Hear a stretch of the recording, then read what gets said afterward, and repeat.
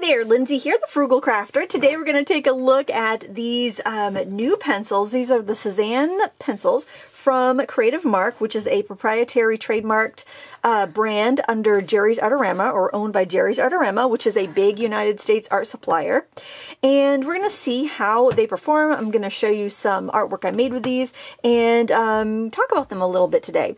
I did go over these pencils a bit in the big um, colored pencil comparison I live streamed last week, uh, but this is just going to go in a little more in depth with this pencil. So these are named after Paul Cezanne, the Impressionistic painter. There is one of his uh, artworks lithographed on the cover of this matte tin. The tin I found to be pretty good quality, although when it came to me, one of the hinges was disengaged, so I did have to use pliers and fix that, and I did scratch the paint a little bit. Um, that's probably just a fluke, but I thought I'd mention it. I did find the tin to be decently sturdy. And inside, you'll notice that the colors are swatched on the inside of the lid on the 120 set. I can't speak for the 72 set, but I like that because if you're trying to put your pencils back in spectrum order, then you can see what numbers um, how they would go, how you would line them up. So you can check to see if you're missing any, or, you know, if you have a bunch of pencils out or you've been coloring with the kids, um, you know, you want to make sure you have them all. Or if you're missing one, you'll know what one you're missing.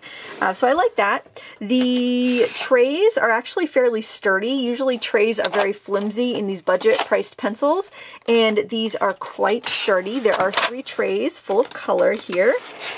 And the color assortment is really nice, I thought. They have um, half of the barrel is a kind of like a matte metallic silver, and the other half is a is supposed to be the color as it uh, should appear from the lead. But I I really recommend looking at the tip of the lead to get your color um, bearings, or make a swatch. I don't like to swatch out my regular colored pencils. I do my watercolor pencils, but not my regular ones because I find looking at the lead gives me a good enough um, idea of what the pencils look like. So this brand comes in a set of 72 or a set of 120. I think they they have a watercolor line too, which I have not tried, but those actually have some smaller packs available to try out. There's no open stock availability with this, so if you used up a color, you wouldn't be able to just buy that one color. You'd have to either um, order a new pack of pencils or look for a comparable brand and buy a single pencil in the closest shade that you can find which I don't think would be a huge deal this day and age because there are certainly a lot of colored pencils out there selling open stock. Now, uh, Jerry's Artarama has another house brand of pencils, the Soho line of colored pencils, which are available open stock. And those are made, I believe, by Cretacolor. These pencils are made in China, I believe. Yeah, made in China. And I've heard, like, at least anyways with reviews of the 72 set I've seen on Amazon, I had, there were several reviewers that said they, they are the exact same pencil as the Schriftner Farben and the Sargent Art Supreme, but then I've also seen reviewers say they absolutely are not the same pencils. So you kind of got to take that with a grain of salt. I haven't tried the 72 set of these pencils, which have a gold barrel instead of a silver barrel and look just like the Schriftner Farben pencils, but since I haven't used those, I really can't comment on that. But I do find that um, when kind of stores do like their store brand or a proprietary brand for their company.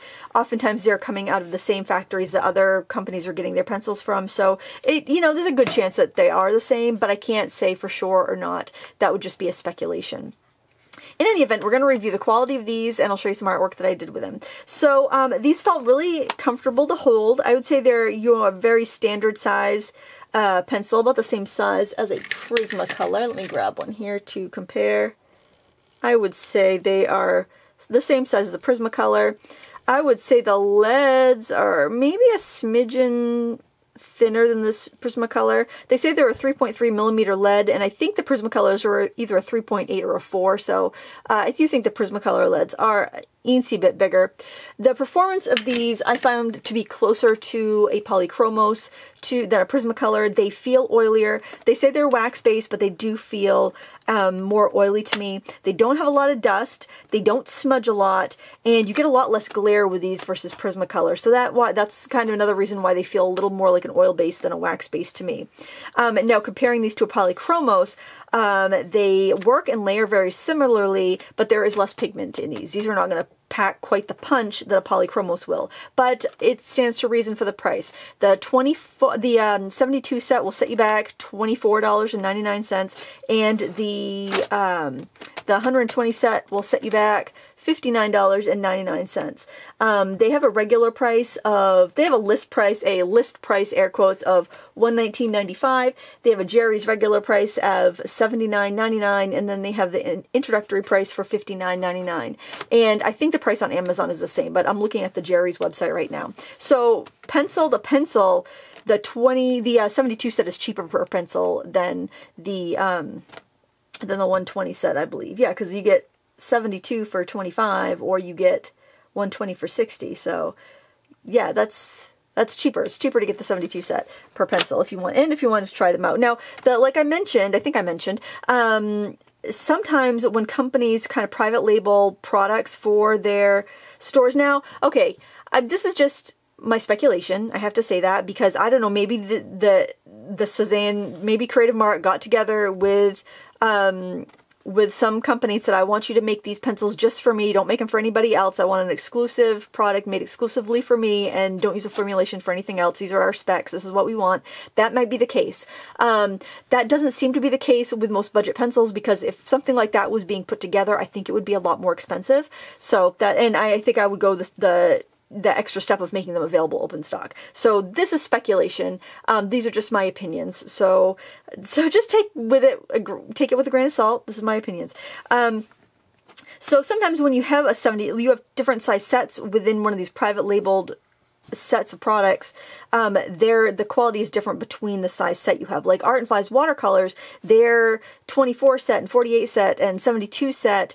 They're made from different factories, so they're not the same paints. So if you love the 24 set and you bought the 72 set, you might not like that one because it's made from a different company. So it's just something to be aware of when you're buying inexpensive supplies. Now, if you're looking at this compared to what polychromos cost, I mean, polychromos, I think the cheapest I've seen them recently is like $179 for a set of 120 versus $60 for the set of 120 you know so it's clearly not going to have as much pigment and um, you know your you're not paying as much. I want to say get what you pay for, but in a lot of cases, you you know you've got to kind of look at price and let that weigh um, how much you expect a material to perform. That said, I thought these performed quite well. So there's there is a, a couple. Well, I think there's only real one, uh, a couple little issues here. Um, one issue with this pencil that um, that I had is that their white is weak. Now I have that issue with polychromos. I have the issue with most color pencils. Um, Prismacolor has my favorite white pencil. I use it a lot. You could use a white Prismacolor with these and it would really be a worthwhile investment. It would really give you much brighter brights, uh, whiter highlights. It would blend in. It would help you blend colors together. It would just be a wonderful thing to have with this set. I find most, especially if the pencil tends to feel more oily, I find their whites to be weak. Um, also, their black. I would, their black's okay. I think I still prefer to have like a Prismacolor black just to get those super, super rich tones. But um, color-wise, that's my only real issue. Um, the other thing that I had an issue with is some of the cores are not centered. So if you're using a lot, like I was using this green a lot in the background, um, if you look here, I sharpen it, you only can see about um, maybe like an eighth of an inch of tip on this side, but then you see like half an inch of lead on this side because the core is not centered. So when I sharpen it, um, I'm getting that long you know, I'm getting a long piece of wood on this side and I'm getting nothing on this side. So with pencils like this, you're best off sharpening them with a knife. Now, I didn't get any breakage with any of these pencils, sharpening them or coloring with them, even if I use some use quite a bit of pressure. So that's good there. The leads are nice and strong. Uh, but it is a bummer that you'll find some pencils that you know, have uncentered leads and you're just going to run through them more often because as you sharpen them, you just end up sharpening away the good product that you want to be coloring with. Now that said, I did use that quite a bit in the background for this piece here. So, um, you know, so, yeah, I did use it quite a bit. So I want to put that that out there as well. Um, but I did notice, you know, there were there was a fair amount of pencils that the leads weren't centered. I can see there's way more way more wood if I can you see that see what I mean about it not being centered it's hard to tell if you can't look down the bottom of the barrel but if you see that you've got a lot of lead on one side and you've got hardly anything on the other that's an uncentered lead so you can use a knife to sharpen it, but then you're not going to get those sharp points that you might want for details. These do hold a point quite well, which I was impressed with. Um, and I thought the, the quality of the pigments in there were pretty decent. Not as strong as polychromos, but I wouldn't expect them to be at this price point. I also found that the um, the indexing does not necessarily isn't a perfect match for the lead color, so you might want to scrap a paper or scrap of the paper you're using handy just to test out a color if you're unsure of how it might look. Um, I thought it had a pretty nice variety of colors. Some of the colors are quite samey. Some of the greens are quite similar.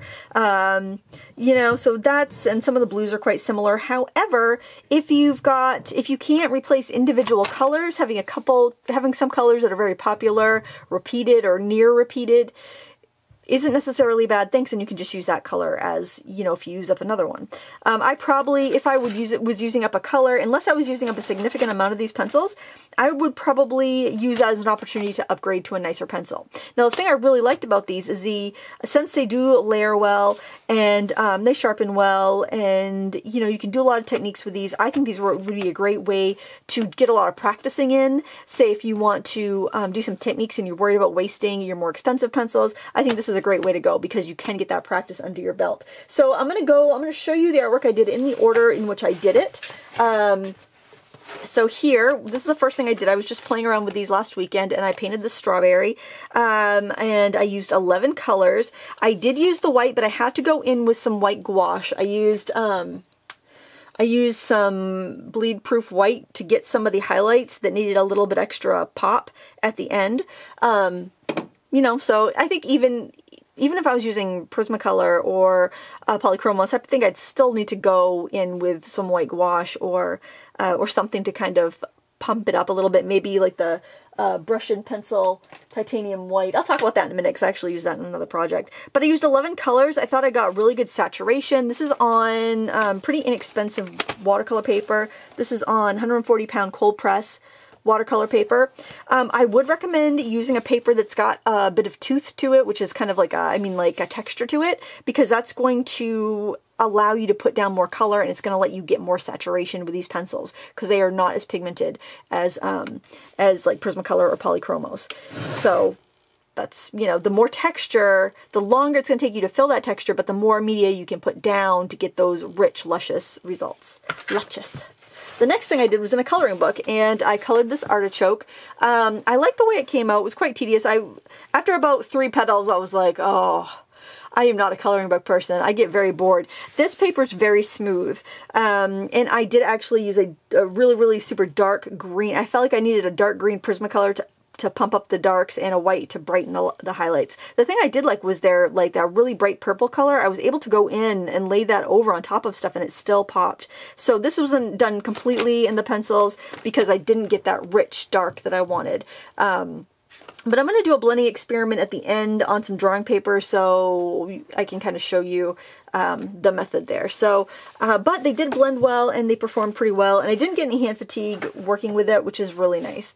So this next one I'm going to show you I did on um, toned watercolor paper by Hahnemühle and this is just a little goldfinch I sketched out. I used some odorless mineral spirits to just kind of blend the colors. That worked really good. These blended very well with odorless mineral spirits. Um, I layered and layered and layered and layered. It took all kinds of pigment. I was able to apply it thickly, like on the branch, to give me almost like an oil paint appearance. And um, I was really pleased with how this worked. They handled really well. This was on toned paper, and honestly, this was a test to see if the colors would show up on the toned paper. I was honestly a little skeptical that the that the white and light gray and yellow would pop on the toned paper, and it did. And I did the highlight with a white pencil. I didn't use anything else other than the Cezanne pencils on this.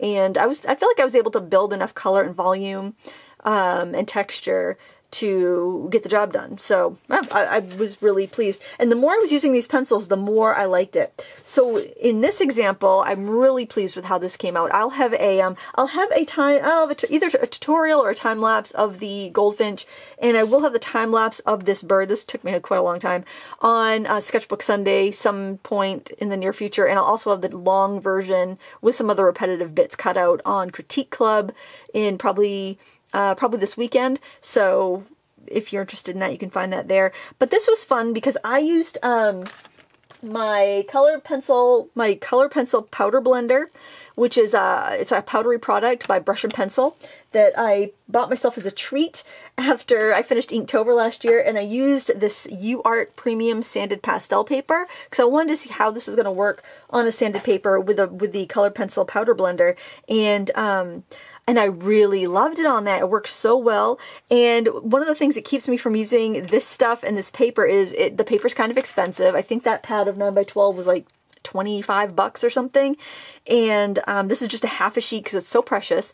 And, you know, the colored pencil, powder blender, and all their accoutrements and fixatives and stuff. I spent some money on there, so I'm all kind of like, um, but actually, the powder blender and stuff lasts forever. It's just the uh, the paper, and I would typically use polychromos with this, but they're kind of precious because they're kind of expensive. So I'm like, oh, I'm gonna try this on there because I won't worry if I use up a pencil. Um, I really like the way this came out. So um, I found it layered really well. My colors were super vibrant on this because this is a sanded paper, which is what it sounds like. It's like a, a fine sandpaper. It's a 400 grit sandpaper essentially that's acid free. You could get some sandpaper and you could try it out and see if you like that and then buy the acid free fancy art paper if you want to in the future. Um, but I really enjoyed doing this project and I really love how it came out. So at the end, when I needed to do those little, um, those little flicks of bright white feathers that are kind of backlit and glowing from a from the light, uh, the white pencil was not going to cut it. So I used this product. Uh, no, not this one. This one right here. It's called titanium white. It's basically like the lead from a colored pencil, a white colored pencil. And then you mix it with this um, adhesive. It's called uh, Touch Up Texture, which you could paint anywhere in a painting that you've lost tooth and you need to build up more color. So I used those together to make a little paint, and I painted in those little those little flicks of feathers. And I thought it came out really well. Um, I love how this came out, and these pencils were perfect for learning the brush and pencil, um, the the powder blender technique. I really would recommend that if you want to try this out and you want to try sanded paper, but you're holding back because of how expensive your polychromos or maybe your other like I don't even have any of the Caran d'Ache colored pencils because they're so expensive. So if you're worried about that, then this would be a great one to practice with. Kind of like the Art and Fly pencils. I found them very similar to the Art and Fly pencils. Um, I I felt like the art and this is kind of this is anecdotal because um, like the art and fly pencils only have 48 colors so it's kind of like the 48 most potent and robust colors. Uh, so comparing a set of 120 and some of the colors are going to be bold, some of them are going to be soft, some of them are going to be great, some of them are going to be weak. You know, it's kind of hard to make an apples to apples comparison there. Um, chances are the 48 bright colors, I would have similar options in here, but I'm like weighing against all the other colors that I've used too. So I would say either, just depending on what size set you want. Um, the Cezanne per pencil I think is a little bit cheaper because you can get 72 for 24 $25 and the Art and Flies are I think like 21 or well, it depends on who you buy it from. On Amazon, I think it was around $24 for 48 pencils. So, you know, it's a little bit, these are a little bit cheaper. Uh, all right, so let's do a blending test. I just really love how this came out. It was really fun to paint too. I just enjoyed how much I could layer with these and I didn't get the wax bloom or a lot of dust or smudging or, I mean, this these just worked really well for that technique and um, and yeah, there, it was just so much fun to use them for that. So the more I've used these pencils, the more I've liked them. So if you have any pencils that are similar to these or the other ones that I mentioned at the beginning of the video that I suspect might be quite similar, um, then use them more because you'll probably enjoy them the more you use them. So what I did was, I'm not going to color all these, but I figured I might as well stamp a bunch because I thought they were pretty. These are some Stampendous stamps, and I'm just going to do like a petal here.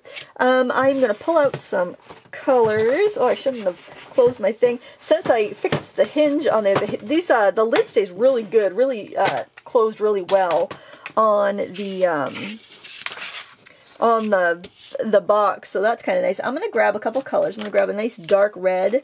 I'm to grab a bright crimson red. I'm going to grab a kind of a lighter corally red.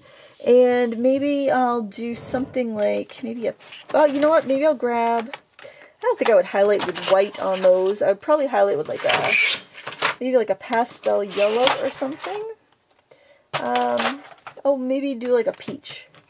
A peach for highlight, something like that. Okay, and we will do, let's do a nice big petal here. I'm going to zoom in.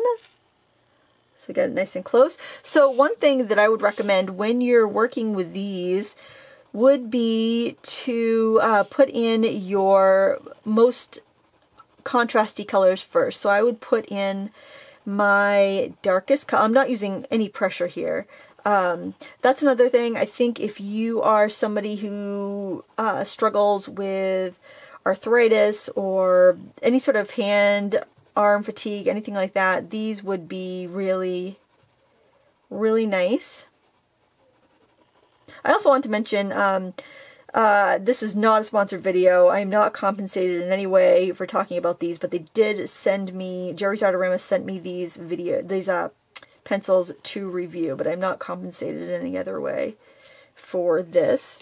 Then I would go in, so I got my darker shadow in there, but I didn't use a lot of pressure because I don't want to fill the tooth of this paper.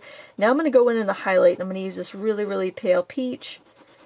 Really, really uh, low pressure here it's almost like I'm saving those areas. I want to save some of that dark and I want to save some of that light.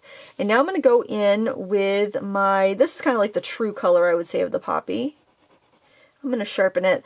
I know I use an electric sharpener, but it's really obnoxious to listen to. So I'm going to sharpen this just with my little handheld sharpener. I don't know if you can buy these on their own. Color It sharpeners, fantastic. They came, oh, now look at that. That's the first breakage I've had out of all this. Okay, I'm going to use my electric sharpener. Take your headphones out if you're using headphones.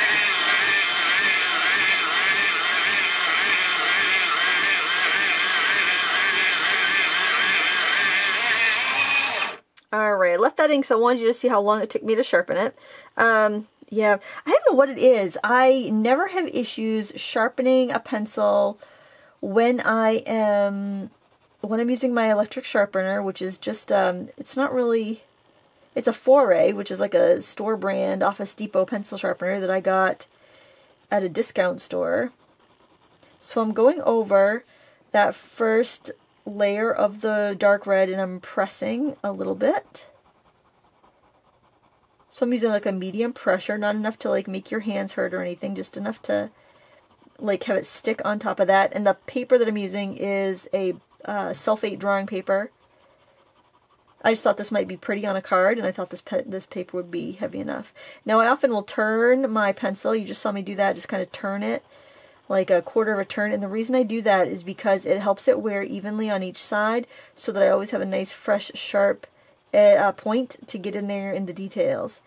Now, I'd say this, I'd say this has um, I don't know, it's a little bit of tooth. It's not really, it's, it's fairly smooth, but it's not super smooth. It's not like cardstock. It's not like Bristol smooth. It's got a little more, um, it's got a little bit more grit to it, but not that much. It's not going to take that many layers. But when I'm doing something like this for card making, um, or maybe I'd use this on a scrapbook layout, I'm not sure. I just thought it was pretty, and I figured I might as well stamp out a bunch and use the whole sheet. Um, I decided that I would, you know, stamp out a few. And, but I don't want to be doing like 10 layers. I want to be doing this pretty pretty quickly. right? and then I'm going to do this color here. It's more of like a kind of a, I would say like a corally orange color. Now these pencils are not named, which I don't think is a big deal, but um, some people do. It does have, they do have numbers, which is handy. I think some of the first, I don't know if the 72 ones have been corrected or not, but, um, and it does appear that, like, if you, they probably are the same pencils. Maybe they just had the barrel paint color changed because um, I was looking at the color chart for the 72 set, and they do have, all the colors in the 72 set appear to be in the 120 set. Uh, so I don't know if they just decided to go with a different color, maybe so it wouldn't look just like those other brands I mentioned. So now I'm using burnishing pressure. I'm using a lot of pressure on here so that I can blend my colors together. Now, the, as you add this more pressure and you keep layering on top, less is going to stick. So we I'm doing some layering and doing some burnishing here, but now I'm in the burnishing burnishing phase.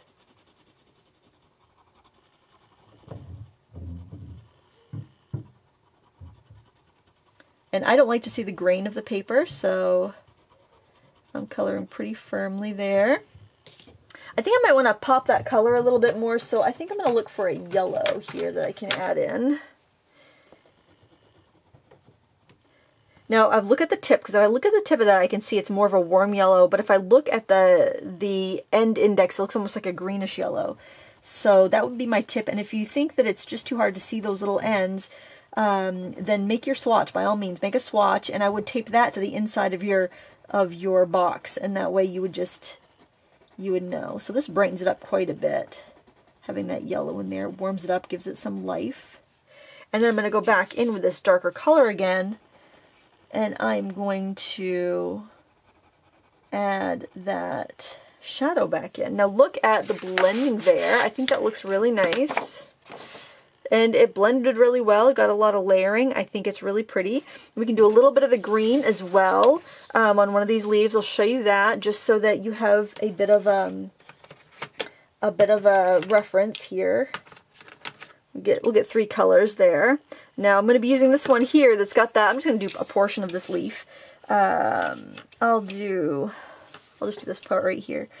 So I'm just going to start in here and put my dark to kind of reserve, save my darks, right?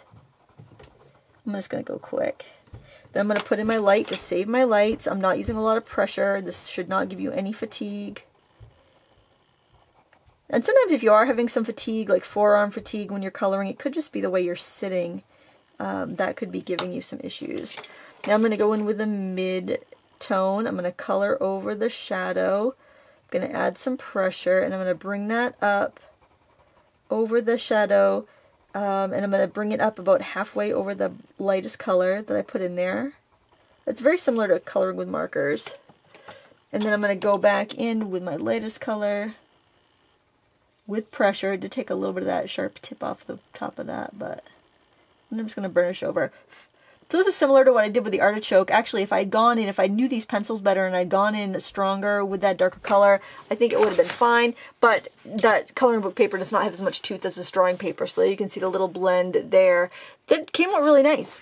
So I have to say, all in all, I do I do approve. I approve this message. I'm Lindsay and I approve this message. Um, I, I do approve these pencils. I don't feel like you need to have a bunch out to create a masterpiece, so you'd probably be fine going with a smaller set, especially since it's cheaper per pencil if you just want to try it out.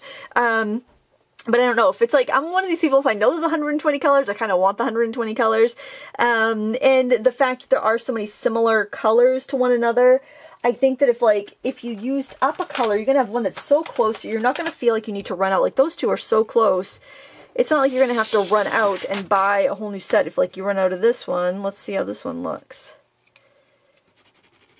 you know, it's pretty darn close. So you definitely can, you know, can get by. Hope you enjoyed this review. I had so much fun filming it. Um, please do check these out. There's a link in the video description. Give me a thumbs up if you enjoyed it. Until next time, happy crafting!